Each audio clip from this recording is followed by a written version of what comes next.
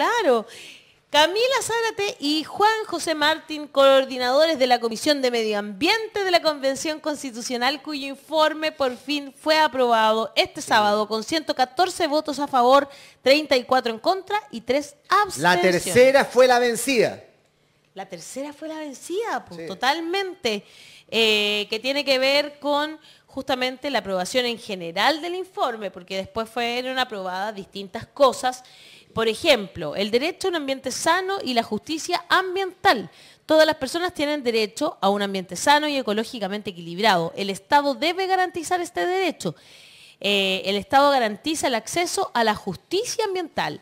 Derecho al aire limpio. Todas las personas tienen derecho al aire limpio durante todo el ciclo de su vida en la forma que determine la ley. La protección de las aguas, que es tan importante. El Estado debe proteger las aguas en todos sus estados y fases y su ciclo natural. El agua es esencial para la vida y el ejercicio de los derechos humanos y de la naturaleza.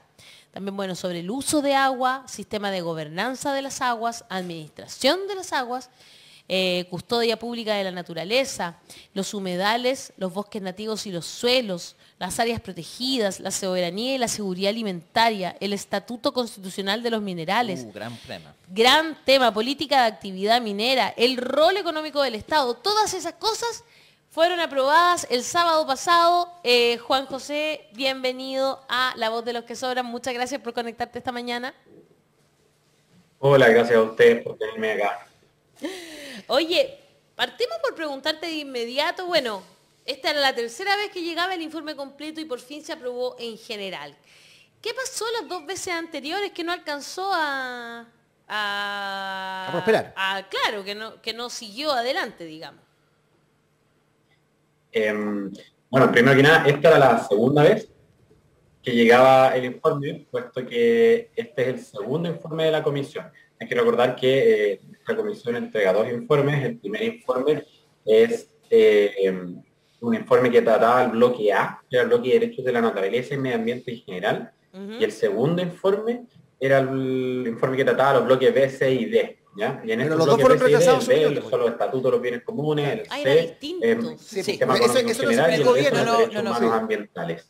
y este segundo informe fue el que en primera instancia fue rechazado en general y luego se llevó eh, como un informe de reemplazo que se llama y este fue aprobado, digamos, eh, en general y luego se pasó a la votación en particular, que fue lo que ocurrió este sábado pasado. porque en el caso del primer informe del bloque A, ¿eso se rechazó una vez? Sí, pues. y después se, Dos veces se ha rechazado y lo, que pasa es que no se sabía que era bloque A y bloque B. Se hablaba, la Comisión de Medio Ambiente rechazaba, y acuérdate que fue un escándalo eso, eh, la primera vez. Y la segunda vez, con, la mejor que le hicieron, pero el punto es que hay tan poca información a veces que no, no, la gente no se enteró que la primera vez se había resuelto el bloque A y la segunda bloque B. Se, pensaba de que había, sido el, documento completo que incluía todos los aspectos. Claro, no, por eso, por eso lo explico. Pero el, primer informe, que era el bloque A, no se rechazó en general. Fue aprobado eh, en general, solo que en esa instancia ya no se votaba eh, en una sola votación el informe completo, sino que lo que se hacía era votar artículo por artículo en general y luego artículo por artículo en particular. Entonces no es que el primer informe haya sido rechazado en general, sino que en la votación en general pasó solo seis artículos, eso fue en el primer informe, y después en particular eh, pasó menos de los seis artículos, pero en la segunda votación tuvo una modalidad diferente, una sola votación para todo el informe y ese fue el rechazo en general y luego en el informe de reemplazo que ya presentamos el sábado pasado se aprueba en general y luego se entra la votación en particular y ahí se aprobaron 16 artículos y hace poquito, de hecho ayer, terminamos eh, la entrega de las modificaciones de los artículos que fueron devueltos para el último informe de la comisión que se llama informe de segunda propuesta que se votará este sábado que viene. Ya, perfecto. Mira qué interesante. Eh, y ya queda tan poquito tiempo, queda, nervio, no siento. ¿Le puedo hacer una pregunta? Pero por supuesto, Rodrigo. Para entrar en materia que tiene que ver con lo que se fue aprobado, por ejemplo, me interesa mucho la política de actividad minera. También ha habido mucho fake news de que oye, se va a acabar la minería en Chile. se va a acabar la minería. Pues o sea, alguien puede tener en su sano juicio creer que alguien va a querer que se acabe la minería. Exactamente. lo, que pasa, y ahí me gustaría que me explicaras cuáles son los acápites distintos, porque el rol del Estado va a ser ahora definir la política de actividad minera, pero considerando factores que muchas veces en otras estructuras, en otros eh, eh, casos, ¿cierto? Con la constitución antigua, no se hacía. Bueno, yo creo que en, materia minera se aprobaron dos artículos, ¿cierto? El artículo 22 y el 23, em, que la verdad es que lo ya aprobado per se no realiza cambios eh, sustantivos en materia de minería. El artículo 22 es un artículo que sería de 1971, de hecho, un artículo que ni siquiera la eh, dictadura cambió en la Constitución del 80, y nosotros acá, eh, bueno, mantenemos hay un par de, modificaciones en su redacción simplemente para hacerlo un poco más, más moderna esta redacción porque tenía, tenía algunas cosas un poco obsoletas la redacción anterior, sin embargo, en esencia es absolutamente el mismo artículo. Y el artículo 23 que se aprueba es un, artículo que también eh, se menciona que, claro, el Estado tiene pues, establece una política eh, para la actividad minera, para el encadenamiento productivo, etcétera, eh, y menciona la protección ambiental y social, algo que es súper importante, pero son cosas que el Estado ya hace a través del Ministerio de Minería. Entonces, en estos dos artículos ya aprobados no hay ningún cambio sustancial eh, al sistema minero, por así decirlo, hoy en día. Lo, interesante viene en este informe de segunda propuesta que les mencionaba, que cerramos el día de ayer y que se va a votar en el Pleno el día sábado. ¿Y, de qué se trata ahí eso que tú dices que, es lo que cambia? Claro. Eh, mira, sustancialmente la diferencia más significativa es que se cambia eh, el actual modelo que entrega las concesiones mineras a través de resolución judicial a un sistema en el que es a través de eh, autorizaciones o títulos administrativos. Esto es súper interesante porque mucha gente, y esto nos ha pasado con varios temas de la Constitución, habla de la certeza jurídica. Oye, pero es que la certeza jurídica acá, la certeza jurídica allá. Bueno, yo, les quiero contar, para quienes nos escuchan, que eh, prácticamente en todo el mundo se entregan títulos administrativos eh, para el uso de la minería. Y que de hecho en Chile era así, hasta la dictadura, en donde José Piñera como ministro hizo un cambio de los, de los títulos eh, administrativos a resoluciones judiciales. E incluso si ustedes buscan en esa, en esa época, hay muchos ministros también de la dictadura que le decían, ¿qué estáis haciendo? Si todo el mundo hace esto vía administrativa, ¿por qué lo estáis pasando a resolución judicial?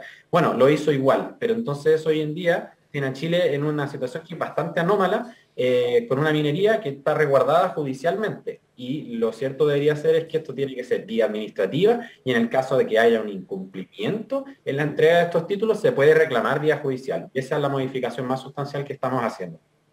Mira, qué interesante. Y de hecho, a propósito de eso, eh, yo te quiero preguntar por los tribunales ambientales.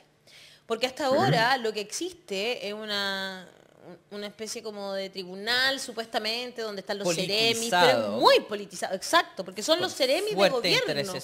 Ceremis que son designados a dedo por el presidente de la República de turno, digamos. Entonces, son altamente politizados y... Con conflictos de interés. Muchos, y de hecho, bueno, Ahora, por ejemplo, cómo se están defendiendo algunas, algunos, eh, es como diciendo justamente que, que están politizados, ahora están politizados, antes no estaban, ¿ah? ahora están politizados eh, y por eso no están, eh, están poniendo trabas a ciertas construcciones que vecinos y vecinas de distintas comunas llevan mucho tiempo combatiendo, digamos. Entonces, ¿en qué cambian? Estos tribunales ambientales? ¿Cómo, cómo van a ser compuestos ahora? Súper, muy buena pregunta, de hecho. Eso, si bien es algo que no ve nuestra comisión, sí lo está viendo la comisión número 6, eh, y en la que por supuesto nosotros también participamos en esas conversaciones a través de los distintos convencionales que son parte de nuestros colectivos eh, fuera de la comisión, digamos. en nuestro caso, independiente por la nueva constitución, eh, Mauricio Daza es quien es nuestro representante de la comisión número 6 y hemos conversado harto, de hecho los dos, sobre los tribunales ambientales. Lo más importante en esta materia es que se van a, eh, o se quiere, todavía no se aprueba, por cierto, va en la última propuesta del informe de la comisión 6, que se vota esta semana, eh, pero se busca que sean autónomos, que los tribunales ambientales sean autónomos. Ojalá con presencia en cada una de las regiones, cosa que actualmente no pasa, eh, actualmente se, hay tribunales por macro zonas. Entonces eso genera que eh, al momento de llegar ciertas causas a los tribunales, por ejemplo en Valdivia hay un tribunal y, tú tienes una causa que puede ser, no sé, en Palena y tienes que ir a Valdivia. Entonces eh, eso se busca cambiar, ¿ya? darle más pertinencia territorial y que haya más tribunales y que además sean autónomos, porque es súper complicado que quien toma este tipo de decisiones, ¿cierto? Eh, tenga efectivamente un carácter político, porque son decisiones que no tienen, eh, no deberían, pues, no hay línea política, sino que una línea técnica em, y lo más objetiva posible al momento de tomar estas resoluciones. Así que es el cambio más sustantivo que se le está proponiendo a los tribunales ambientales. Súper bueno eso. En el informe que se votó en general favorablemente, ¿no? se hace una referencia al derecho a un ambiente sano y de justicia ambiental, ¿cierto? Y en eso dice que el Estado garantiza el acceso a la justicia ambiental. Se hace referencia a lo que estás hablando ahora de esos tribunales nuevos que se van a crear con esa autonomía, ¿cierto? Entonces se conversan Sí, eh, esos dos. Efectivamente. De hecho, eh, los tribunales ambientales ya se aprobaron. Eh, me confundí ahí, lo que se está por aprobar es otra cosa que también es muy importante que tiene que ver con el, el servicio de evaluación ambiental. Que Y ahí también se habla de, la agencia de medio ambiente, que también es algo sustantivo que se quiere, que se quiere autonomizar. Pero eh, efectivamente los tribunales ambientales se aprobaron y lo que viene en nuestro informe de Comisión 5 es el derecho al ambiente sano y ecológicamente equilibrado, que es la modernización del actual derecho a vivir en un ambiente libre de contaminación, eh, pero también tiene algunas patitas como eh, la garantía del acceso a la justicia ambiental. Eso es lo que Pero- estaba mencionando Hassan. Y eso obviamente que conversa súper bien con lo que ha estado redactando la Comisión número 6 de eh, Sistemas de Justicia. eh, disculpe por la pregunta tan de principiante, pero si nos podría explicar qué exactamente significa la justicia ambiental y dentro de eso la diferencia entre ir a un tribunal ambiental por un pro- problema específico, supongo, de contaminación o efectos eh, individuales y el tema del servicio ambiental, por, supongo, por permiso de un proyecto. No sé Efectivamente, si ¿no? Es muy- son muy buenas las preguntas, obviamente. Eh, lo primero es que la justicia ambiental viene de la democracia ambiental. El concepto de democracia ambiental, la ciudadanía puede participar en las decisiones ambientales que ocurren en su país, en su sociedad. ¿ya? Y esta democracia ambiental tiene tres patitas. Una patita es el acceso a la información eh, en, eh, el- digamos que está en el Estado o en empresas que presten servicios al Estado o incluso aquellas que no prestan servicio al Estado pero que tienen información relevante en materia ambiental. Ese acceso a la información fue aprobado en nuestro primer informe. Otra patita de la democracia ambiental es el acceso a eh, la justicia ambiental y eso tiene que ver con ser la- poder acceder a tribunales ambientales especializados en materia de eh, medio ambiente y derechos humanos ambientales y ahora también derechos de la naturaleza. Y eso es lo que viene en este informe. Perdón, se aprobó en este informe la garantización del el acceso a la justicia ambiental. Y en el primer informe también venía la tercera patita, que es el acceso eh, a la participación en la toma de decisiones en materia ambiental. Entonces, primera patita, información, segunda patita, justicia y tercera patita, participación. Y esas tres arman el concepto de democracia ambiental. Entonces, nosotros del primer informe teníamos información y participación, faltaba la patita de, acceso a la justicia ambiental, que se aprobó ya este sábado recién pasado. Y la diferencia entre los tribunales ambientales, que son quienes, por supuesto, toman causas de materia ambiental, eh, y el SEA, el Servicio de Evaluación Ambiental, que ahora se está reponiendo como Agencia del Medio Ambiente, es que eh, el, el Servicio de Evaluación Ambiental es el que hace evaluación de proyectos para que se puedan aprobar con estándares correctos en materia ambiental y también en materia social, por cierto, eh, a, en- a nivel nacional. Hoy en día el Servicio de Evaluación Ambiental también es, un- eh, es de carácter político, porque quien lo dirige lo escoge el gobierno de turno. En cambio, ahora una agencia de medio ambiente, que es la que se propone que lo reemplace, de carácter autónomo, sería un órgano técnico que evalúa los proyectos por su, por su mérito, ¿ya? Y no por eh, decisiones más políticas como se hace actualmente, y eso permite separar eh, quién juzga la calidad y el cumplimiento de los proyectos de- del sistema político que está en Sí, es verdad. Oye, eh, Sí, por me favor, gustaría dale. preguntarte con respecto al, al sistema nuevo de, de gobernanza de la agua, que es muy relevante, eh, a partir de lo que se ha discutido también en la actual estructura, entendemos también que esta lógica de las concesiones o de los derechos a perpetuidad van a acabar, van a ir modificándose a otras estructuras con otros criterios. Eh, cuéntanos un poquito cuál va a ser esa institucionalidad. Súper. Eh, hola, Cami. Ahí está. Camila Zárate que eh, se, se incorporó. Hola, Hola, Hola, hola. ¿cómo están? Eh, Perdón, la atraso. No No se preocupe. Oye, justo estamos, nos están preguntando por la institucionalidad del agua, institucionalidad del agua. Entonces, bueno, les puedo partir contando que eh, hay un gran paraguas, por así decirlo, institucional, que está a cargo ahora de la Agencia Nacional de Aguas. Nosotros le llamamos la ANA, por las siglas, ¿cierto? Claro. Eso se aprueba desde la comisión número 6 eh, también de sistemas de justicia y órganos autónomos. Eh, haya habido, como habrán, se habrán dado cuenta en esta conversación, ha habido mucha conversación entre la Comisión 6 y la 5 en estas materias, porque ellos ven lo sustantivo de la institucionalidad, que mucho, mucho del contenido que nosotros escribimos después debe, en el fondo, ser ejecutado. Em, y entonces está la Agencia Nacional de Aguas, que es el gran paraguas en materia de gestión de aguas. Es, por así decirlo, una nueva DGA, sin embargo, la DGA puede ser incorporada a esta agencia en conjunto con otras eh, entidades que hoy gestionan el agua en Chile. Hoy en día habla que son incluso más de 40 las que tienen atribuciones en materia de gestión de agua en Chile y la idea es ordenar un poco ese puzzle. Obviamente no se hace de manera automática, sin embargo, eh, quien tenga este paraguas es la Agencia Nacional de Agua, que es un órgano autónomo a nivel constitucional.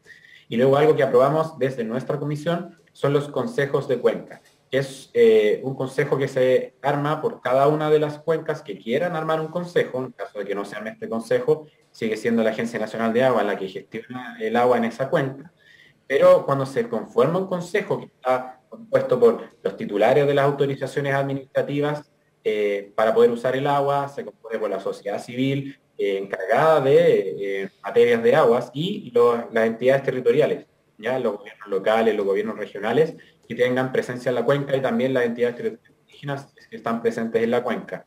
Y ellos permiten la gestión del agua en esa cuenca en particular. Entonces esto hace que se descentralice y se desconcentre la gestión del agua en una mayor pertinencia territorial. La gestión a las personas que viven en la cuenca, que saben pero también creo yo que se puede volver más eficiente incluso, porque no es solo un organismo a nivel nacional que tiene que estar preocupado de las 101 cuencas que componen nuestro país, sino que cada cuenca puede gestionar eh, el agua por sí sola. Creo que eso va a hacer más eficiente el sistema también, pero también más responsable. Así que ese es como el, gran, eh, el gran, la gran institucionalidad que se ha conformado en materia de agua en lo propuesto ya y aprobado en el borrador de la Constitución. ¿Quieres agregar algo, Camila, sobre lo que estamos conversando? Y bueno, em, como bien decía Juan José, esta es como la, la, institucionalidad que estamos mirando, una administración que tiene un enfoque distinto, porque es un enfoque que pone en el centro las cuencas y es un enfoque que pone en el centro el ciclo del agua también. Porque hasta ahora, en estos momentos, había, no, había mucho conocimiento de cómo funcionaba el agua, de la importancia, por ejemplo, de resguardar bosques o humedales para poder garantizar el ciclo del agua, la, la relación que hay entre los suelos, el agua, y por lo mismo es que es tan importante esta mirada mucho más integral es justamente la que no hemos tenido desde un modelo que más bien ha puesto el lucro eh, y, ha generado esta sobreexplotación, o sea, por sobre la, protección de las cuencas, por sobre la protección del agua y que ha generado la sobreexplotación que hoy en día tenemos. Entonces, eh, también los principios orientadores de esta nueva administración van a ser claves y uno de ellos es justamente algo que ya mencionaba Juan José, tiene que ver con la mm, democratización de las decisiones y la mayor participación. Y en esa mayor participación entendemos que hay actorías importantes. Vamos a entender dentro del Consejo de Cuenca también actorías indígenas, incluso la sociedad civil, cuestión que es súper eh, novedoso, porque hasta ahora solamente quienes administraban son quienes eh, son parte de la Junta de Vigilancia o de, las comunidades de agua y son efectivamente los dueños de derechos de aprovechamiento de agua y además deciden más quienes tienen más acciones de agua. Y esa lógica ya no va a ser, porque va a ser una lógica democrática, una lógica en que eh, las distintas actorías tienen participación y por lo mismo también estamos con ello relevando las actorías de los territorios y por sobre todo las actorías también de las asociaciones, asociaciones de agua potable rural. En el informe pasado no enviamos una protección especial a estos actores, pero en este informe de segunda propuesta sí lo estaríamos enviando eh, y, es, un elemento esencial porque tiene que ver también cómo las actorías comunitarias son capaces de entregar un servicio público de calidad desde la mirada eh, del abastecimiento y un derecho humano y no desde la mirada del lucro. Así que en ese punto de vista también entendemos que la mirada ecosistémica va a ser un, un objetivo importante, pero también la mirada de la comunidad, de la gestión comunitaria y la participación democrática. Javiera Iturra dice, apruebo totalmente. Raúl B dice, soy aficionado a la astronomía y me interesa la protección de los cielos de la contaminación lumínica. Pido a los constituyentes se apruebe el artículo 30 que protege los cielos oscuros. Y Ricardo Francisco Ibáñez Sandoval dice, ¿quién va a hacer las asignaciones administrativas de las concesiones mineras? ¿Camila? Sí, podemos responder a eso. Eh, ¿Quién va a hacer ese trabajo va a ser la Agencia Nacional del Agua Ahora bien, hubo un inciso que se devolvió por parte de la Comisión 6 y que hablaba explícitamente de eso. Así que también es importante eh, que esto em, se, apruebe de alguna manera, pero obviamente que hasta ahora eh, vendría a ser ese organismo el que va a tener esa facultad. Y eh, hay una orientación genérica que hicimos también desde nuestra comisión, que ya es aprobada y es parte del borrador, que dice que estas asignaciones tienen que responder a la disponibilidad material o real que exista de agua en la cuenca. Entonces ya existe también una nueva mirada de cómo se asignan estas nuevas autorizaciones y que van a tener que responder también a prioridades de uso en, su asignación. Creo que también es importante relevar en este caso lo que va a también pasar en la comisión de transitorias, donde tenemos que ver también, no sé, bueno, Juan José también lo decía, eh, cómo, esta nueva institucionalidad conversa con lo que hay ahora y vamos haciendo también estos procesos de transición. Ha sido un, recorrido largo y difícil eso de, la Comisión de, Medio Ambiente y Modelo Económico. Yo quiero hacer un breve comentario felicitándote, Camila, y felicitándote, uh, Juan José, porque realmente el trabajo al final de este terrible proceso, realmente ha sido terrible, de, todas las tensiones, el, drama, un parte teleserie, parte película de terror, pero lo, que ha terminado ah, saliendo de esto es, por lo menos en materia de agua, yo creo tremendamente positivo, ah, y esto el trabajo del MAT, del Movimiento Agua Territorio, el trabajo de Modatima, ah, al final ha funcionado en general algo que es, eh, bueno, e, es una constitución vanguardista en el sentido que está enfrentando un tema del siglo XXI de la emergencia climática que va a terminar acabando con la especie humana si no tomamos acciones ahora. Em, el tema de las cuencas, para los que no se están escuchando, eh, es importante entender que en la institucionalidad chilena en este momento las personas podían pedir sus derechos de aprovechamiento de agua, entonces cualquier privado pide su agua de una, eh, de una fuente y lo tiene gratuitamente y pueden pedir Ah, esos derechos sin ningún estudio de cuál es la capacidad de, la planeta Tierra de entregar esas aguas. Y de hecho, si uno va, eso es un tema mundial, es muy lindo que uno lo pueda ver con los mapas. O sea, hay, mapas que son por población, por distrito administrativo, y muchas veces entonces los mapas de, cómo se accede al agua no tienen nada que ver con el tema real de las cuencas de dónde sale el agua. Entonces, cuando uno tiene eh, esa posibilidad de rehacer la administración de, eh, de agua del país en base de las cuencas, de las fuentes reales, ahí se puede hacer esta, em, este manejo o racionamiento serio tomando en cuenta las distintas demandas que existen para un recurso finito. ¿no? En esto eh, los consejos de, las cuencas van a ser súper importantes en empezar a enfrentar la problemática de la sequía, del saqueo y de todo el problema de, la emergencia climática. Entonces yo creo que han avanzado súper bien y quería simplemente hacer esa, eh, ese pequeño saludo de felicitaciones porque esto es súper positivo. Ahora la pregunta, volviendo al tema, que eso lo estuvimos conversando con Juanjo antes de que entraste Camila, el tema de, la democracia ambiental, que ya está en este informe que se aprobó, eh, y Juanjo nos dijo que hay tres eh, patitas, ¿cierto? El acceso a la información, em, el acceso a la participación y eh, el acceso a, ¿dónde está la tercera? A la justicia y, hablando en general de la, de, la, democracia ambiental.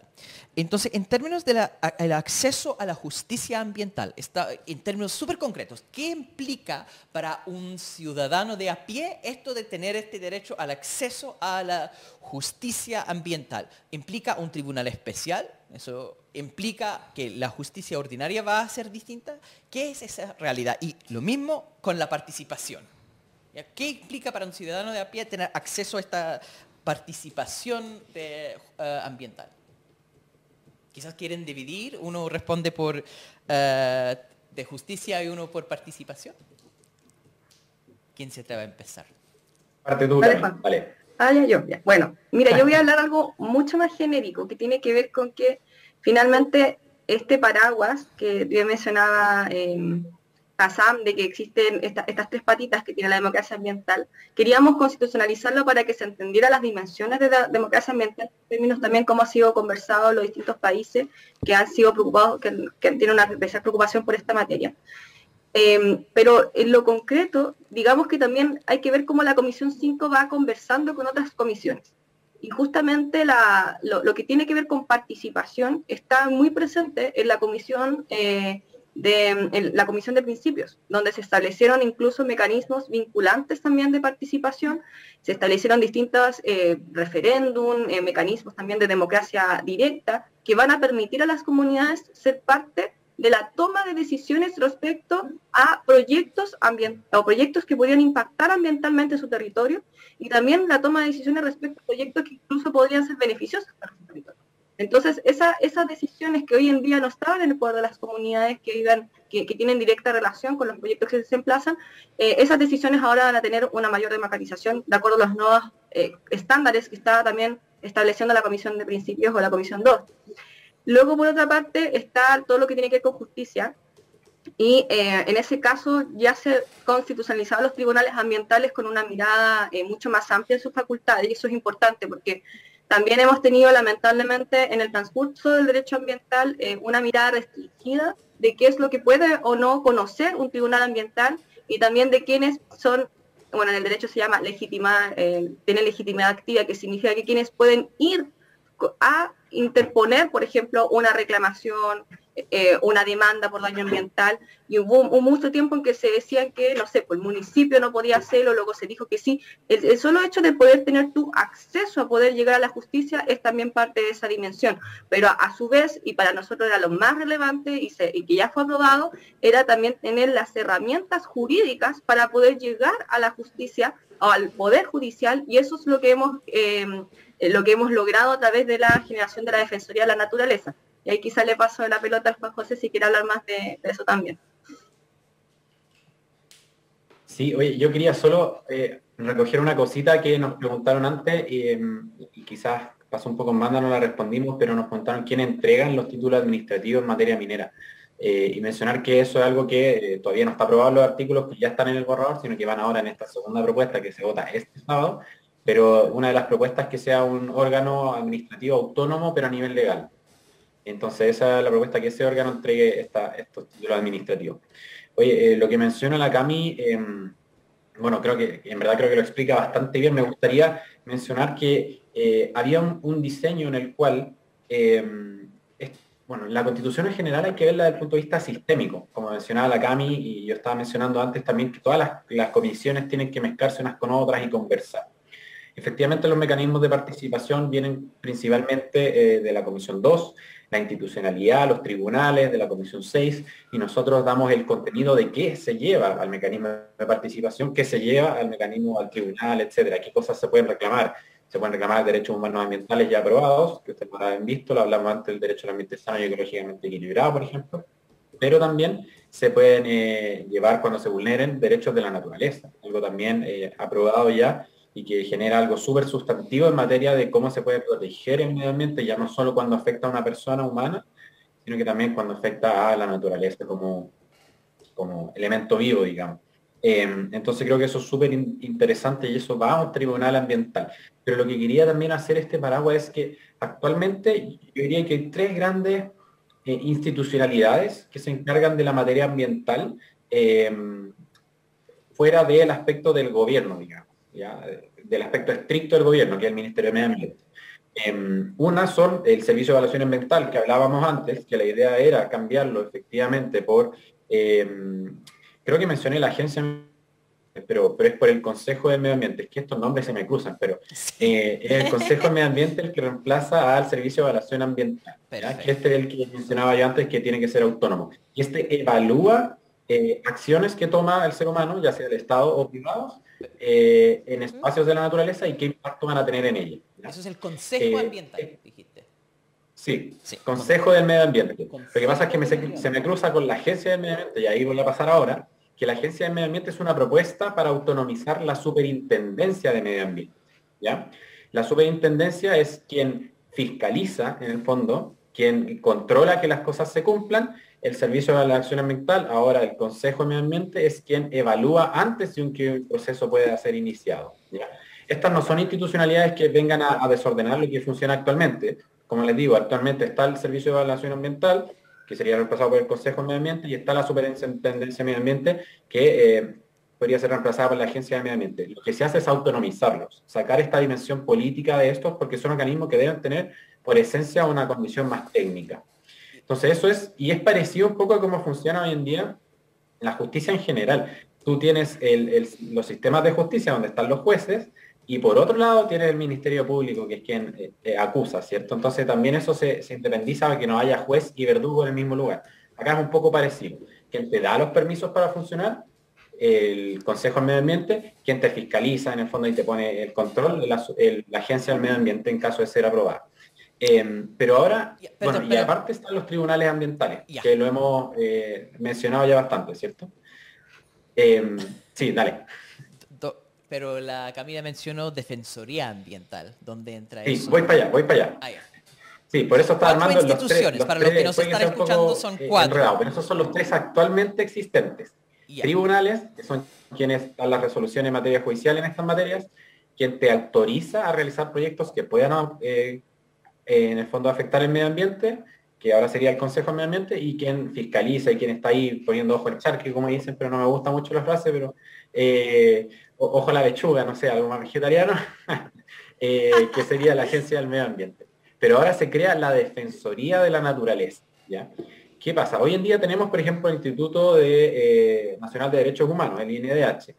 Eh, este, eh, en esta constitución estamos creando la Defensoría del Pueblo, que es una defensoría que se dedica a la garantización, protección y promoción de los derechos humanos. Y el INDH no necesariamente desaparece, sino que puede ser incorporado a la Defensoría del Pueblo. ¿ya? Pero este además ve un, un espectro mucho más amplio en materia de derechos humanos. La Defensoría de la Naturaleza es el símil a la Defensoría del Pueblo, que en otros países se conoce como ombudsman, ¿ya? Em, pero la Defensoría de la Naturaleza vendría siendo eh, esta garantización, promoción em, y, digamos, eh, aseguramiento de que se cumplan los derechos humanos ambientales y los derechos de la naturaleza. Eh, que tienen una, característica eh, un poco diferente a derechos sociales, por ejemplo, o derechos civiles o políticos, que es en el caso de la Defensoría del Pueblo. Y esta Defensoría es un órgano efectivamente nuevo para nuestro país. Bueno, ambas Defensorías, la del pueblo y la naturaleza, pero que en el fondo vienen a cumplir con estándares muy altos de garantización de derechos eh, y a defender a las personas y a la naturaleza per se. Entonces esta Defensoría lo que viene a reforzar es eh, a que se empiecen, que se sepan cumplir los derechos de la naturaleza em, y esta Defensoría tiene en el fondo la capacidad de decir, mira, acá se están incumpliendo, hay que recurrir a tribunales ambientales, por ejemplo. O se está incumpliendo eh, lo que el Consejo Medio Ambiente, el Servicio de Evaluación Ambiental, como lo conocemos hoy, dictaminó para un proyecto. Se está incumpliendo eso y le puede decir, no sé, por la superintendencia que vaya, investigue. Entonces, básicamente es un órgano que ayuda proactivamente a estar eh, asegurándose de la consagración de estos derechos, pero no solo los derechos de naturaleza, sino también los derechos humanos ambientales. Entonces es como, es como un órgano hermano o hermana eh, de la Defensoría de los Pueblos que va a hacer lo mismo, pero en materia de derechos humanos. Perfecto. Ya. ¿Puedo agregar una cosita cortita? Sí, claro. Y mira, así como Juan José está haciendo como el símil de lo que hay hoy y de lo que se está creando digamos que la Defensoría de la Naturaleza vendría a ser un, órgano ya público de una función que han ejercido durante años muchas ONG en apoyo a las comunidades.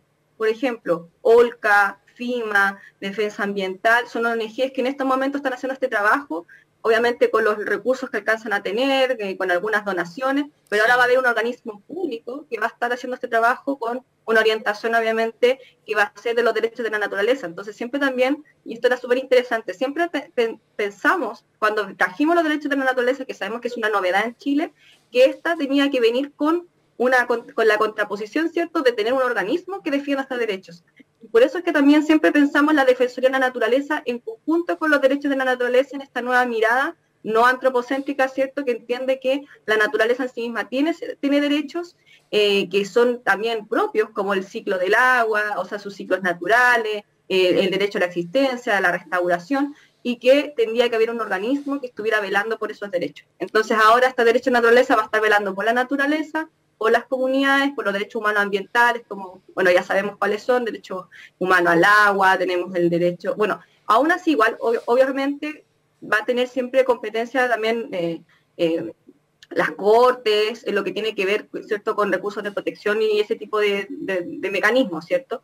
Pero ya vamos a tener una, una defensoría, vamos a tener un tribunal ambiental eh, mucho más fortalecido y todo este tipo de organismos van a ayudar mucho más al acceso a la justicia ambiental, que fue la pregunta inicial que nos, hacía el Hassan. Ya. Eh, tenemos que cerrar pronto, y, eh, pero es bien interesante todo lo que ustedes cuentan. Ahora ustedes han estado adentro y entonces esta nueva institucionalidad les es más fácil entender para, para nosotros que estamos en la externa. a veces es fácil marearse con tantas cosas. Entonces voy a hacer un pequeño ejercicio basado en sustantivos y verbos. Y vamos a ver, voy a dar los sustantivos, los nombres de las instituciones y sus nuevos nombres, ya que ah, tienen ahora autonomía, y después el verbo de qué función cumple. Entonces, si tengo entendido, después me corrigen si hay errores, lo que yo entendí es que ah, si hay algún tipo de problema ambiental, ¿cierto? Ah, perdón, si un, un proyecto que se quiere hacer, algún proyecto productivo, ¿no? poner una fábrica, entonces es el, el Consejo Ambiental que va a autorizar ese proyecto eh, productivo. Entonces tenemos un consejo, ex servicio, porque ahora se agrega fiscalización, pero el consejo autoriza. Después la agencia ambiental fiscaliza ese proyecto. ¿no? La agencia que fue la superintendencia antes, pero ahora se agrega autonomía, la agencia fiscaliza ese proyecto. Y finalmente, si hay algún disputa, uno tiene el tribunal ambiental que falla al respecto de la disputa. Entonces, eh, el consejo autoriza, la agencia fiscaliza, el tribunal falla y tenemos esta defensoría de la naturaleza que verá por todo ese proceso y en caso de que no están funcionando puede empujar esos procesos. ¿Eso más o menos resumen de lo que ustedes han hecho en esta materia?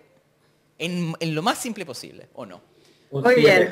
Muy bien. pasamos. Gran alumno. Logramos entender. Muy estudioso. Y por ende hay que aprobar. Exactamente. Muy bien me parece. Voy a leerles algunos comentarios entonces a propósito de lo mismo. En, Facebook Andrés Mesa dice saludos y felicitaciones a la Comisión de Medio Ambiente y a los coordinadores Juanjo y Camila en especial. Hashtag apruebo. Jimena Fernández dice, qué gente tan inteligente, me siento orgullosa de este programa. Maui Sacó dice, ¿y cómo quedaría el abastecimiento, derechos, etcétera, del agua de los pequeños recintos en el campo o alrededores de Santiago en donde hay mucho robo de agua y peor, de las napas subterráneas? ¿El dueño que abre el paso de agua seguirá mandando? Ana Chacón Meyer dice, qué orgullo tener a estos jóvenes en la CC. Arena del Maipo dice a ustedes, mil gracias por la tremenda pega. Sabíamos que sería lo más difícil. Eh, sabíamos que sería lo más difícil, claro. Y Marcela Babamontes dice, no a los ruros, no a la termoeléctrica en Limache. Mm. Eh, algunos de los comentarios que tenemos a esta hora aquí en La Voz de los que sobran. Eh, Camila Zárate y Juan José Martín, tremendo trabajo, extenuante, ¿verdad? Queda poquito de aquí al sábado para probar cosas, ¿verdad? ¿No? ¿De acuerdo a los tiempos que se vienen?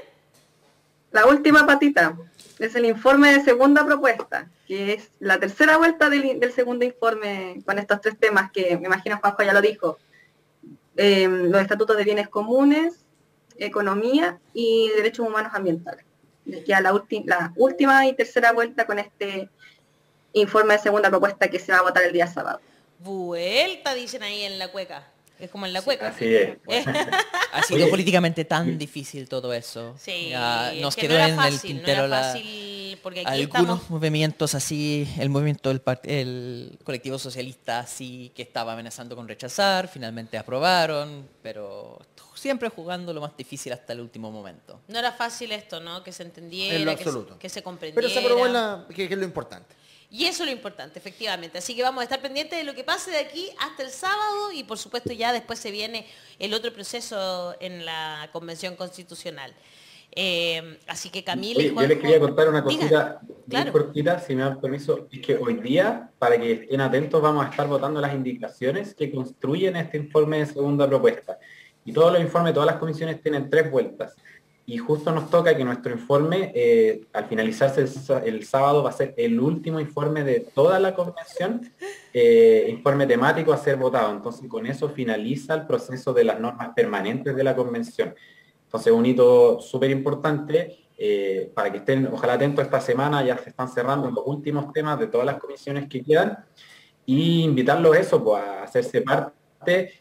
Creo que Hassan hizo un resumen súper bueno porque a veces es un poco difícil eh, entender todas las vueltas de la institucionalidad y para dónde van todas las cosas, pero para lo mismo, bueno, la Cami, eh, yo y un montón de otros constituyentes estamos al servicio de eso, vamos ojalá dibujar un bonito para que se entienda todo, ponerlo ahí por las redes sociales, para que, para que sea todo más fácil de digerir, porque ahora empieza, una vez que finaliza este proceso, empieza el proceso de esto mismo, de conversar más, porque ahora nos va a alcanzar más el tiempo, eh, con ustedes, por cierto, agradecerles la invitación, pero también con las personas y resolver todas las dudas posibles. Así que invitarlos ahí a seguir conversando con todos nosotros y a estar atentos para lo que sea esta semana, que va a ser absolutamente histórico para todos nosotros.